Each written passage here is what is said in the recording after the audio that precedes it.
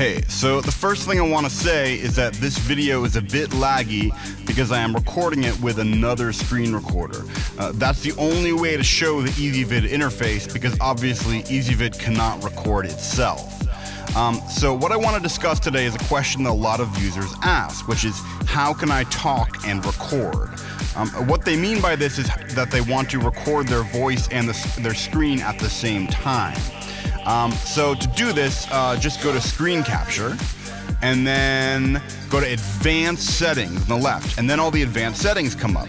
Um, and so at the top, um, you can enable your microphone. Um, and there's some other cool settings here that you should really just experiment with, but it's, it's pretty simple.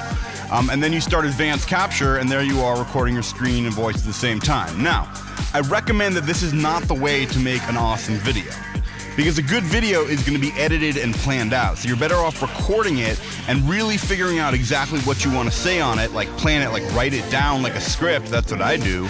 Like, you know, just hitting record is just not necessarily going to make an awesome video. Um, you need to like capture your screen first.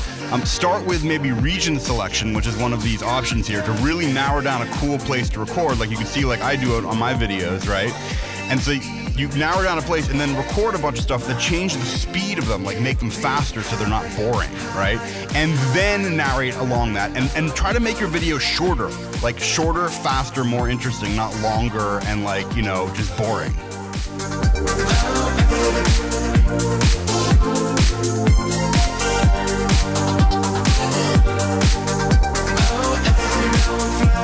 Oh, so high.